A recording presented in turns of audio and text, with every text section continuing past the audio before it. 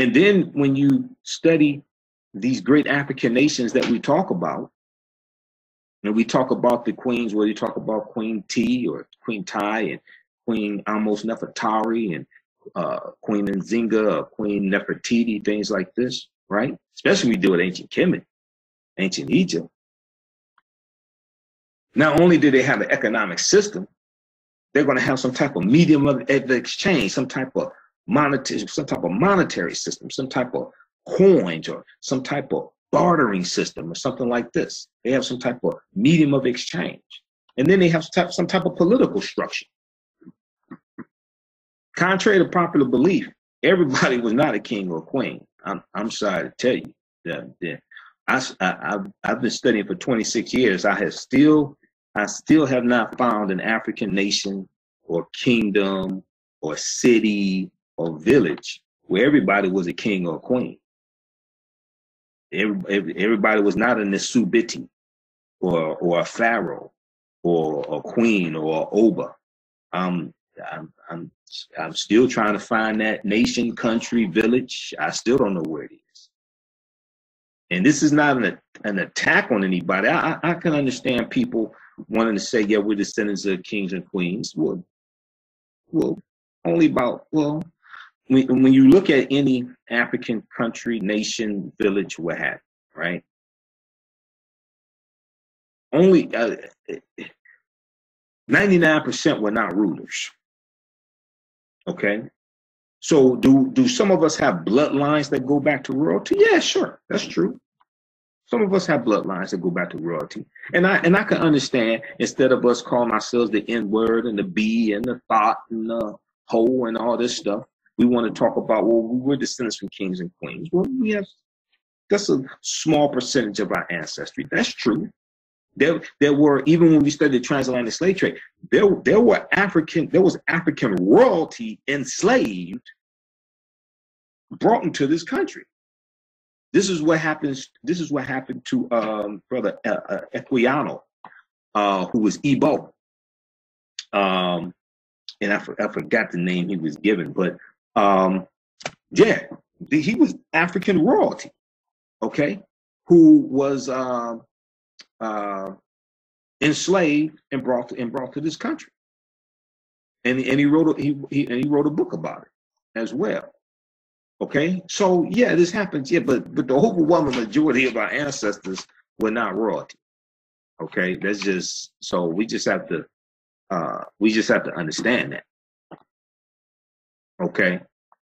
Um, and once again, like I said, I can I can understand uh, I can understand us talking about that as opposed to uh, us being called the B word and, and, you know and being dehumanized. I can understand that, but uh, let's not go crazy with it. Okay, but all these African nations, in addition to having some type of uh, monetary system, so it was some type of economy.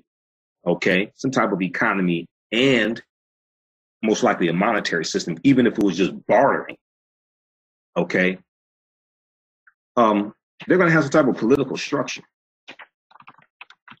They're going to have some type of political structure also. Okay, uh, so you have. Uh, a, a king or a Nesubiti, a pharaoh, an Oba, an emperor, something like that. You have some type of hierarchy. Okay, so you so this is going to take place also. All right. Um, so I know blackpast.org has an article about this. This is not coming up but his, his last name was Equi, Equiano. Um, Ola Uda or Ola Uda. I'm not exactly sure how to pronounce it. Uh, o L A U D A A D A H O L O L A U D A H. Right, Equiano was his last name. But this brother was uh, Ibo from uh, Nigeria. He was a prince. And he was captured, taken into slavery.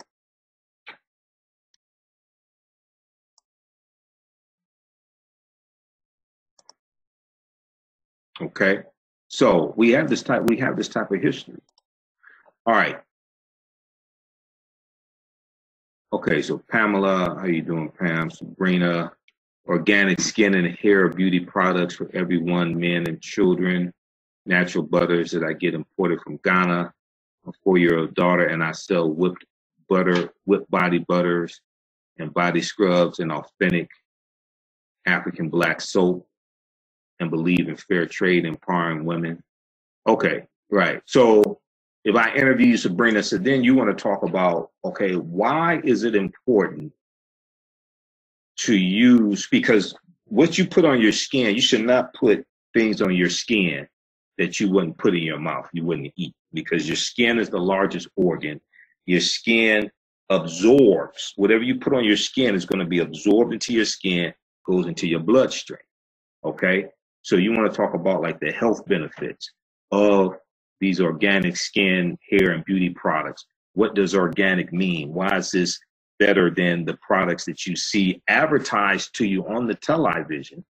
Okay, and they may have a spokesperson, they may have an actor or actress that they're paying millions of dollars, you know, to promote this product. Well, you know, why uh, are organic skin and hair beauty products better?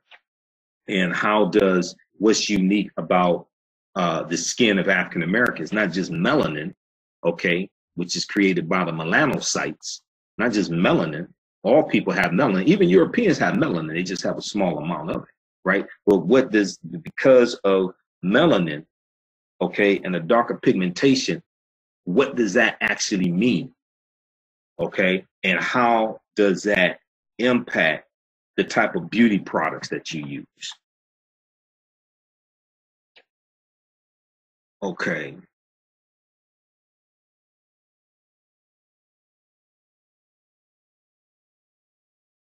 Ola was it's Ola, O L A, it's Ola. Uh, twins were a little rattled. Got your email. We're getting stuff together. Okay. Mimi. All right. Okay, so hey, look, we have to get out of here. Uh, remember, at the African History Network, we focus on educating, empowering, and inspiring people of African descent throughout the diaspora and around the world. Because right now it's correct wrong behavior. It's not over till we win. I'll be in uh, San Diego uh, Friday, August 10th through Sunday, uh, August 12th for Return of the Gods, the Real Family Reunion. And um, this is um, this is coming up. Uh, let me see. Let me give you the. So, Return the Gods is a royal festival celebrating the shift and rise to enlighten, enlightenment.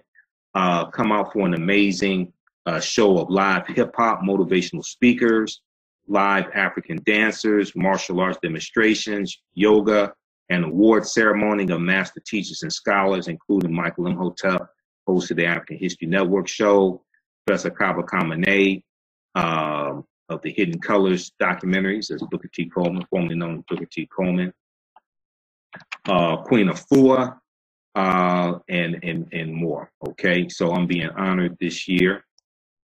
Uh, we have the information. You can uh, get your tickets as a three-day pass um, at AfricanHistoryNetwork.com, AfricanHistoryNetwork.com.